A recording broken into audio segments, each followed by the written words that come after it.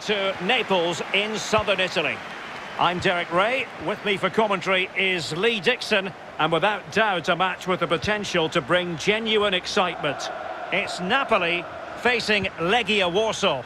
Yeah, thanks, Derek. All that work in the week, all that chat in the dressing room, all that stops now. It's put your game face on, get down to it. I'm really looking forward to this one.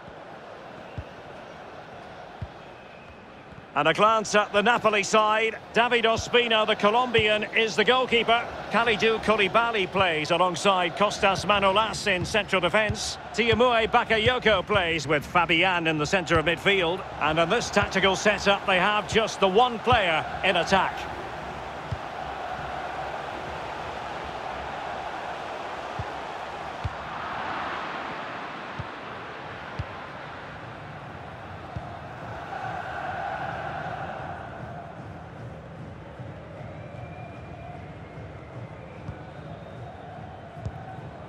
Pekhart.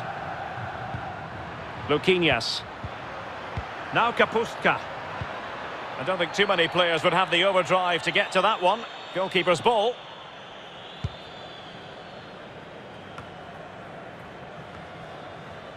Well, showing good defensive judgment.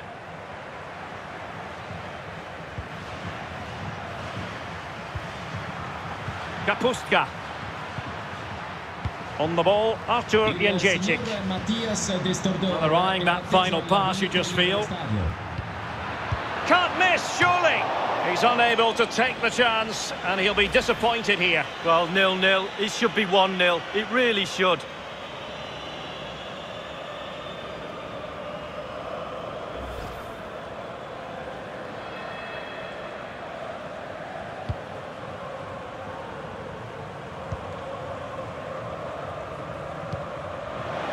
Fabian. And now Zielinski. Tiémoué Bakayoko. Excellent defending.